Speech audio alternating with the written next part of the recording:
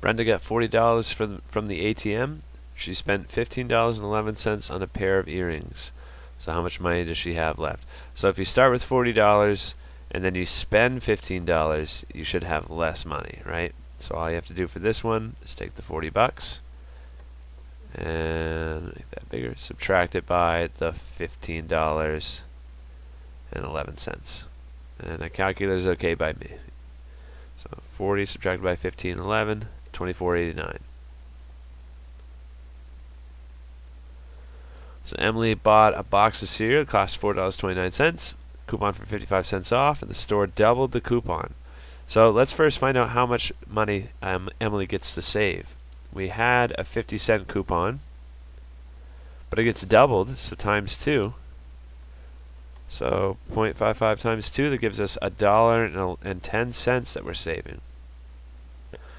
So Emily is going to get to buy it for $4.29 less the dollar 10 cents that we get because the store doubled the coupon.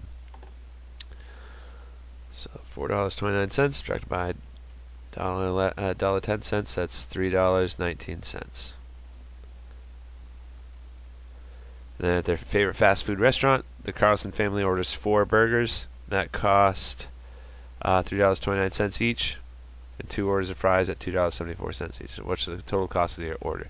So there's 4 times $3.29. That's a quicker way instead of doing 329 plus 329 plus 329, right? So this is the cost for all the burgers and then the cost for all the fries here. I didn't put the dollar symbol. But I think you get the idea, right? That's $2.74 there. So we can multiply first. 4 times $3.29 gives us $13.16. And then 2 times $2.74 gives us $5.48.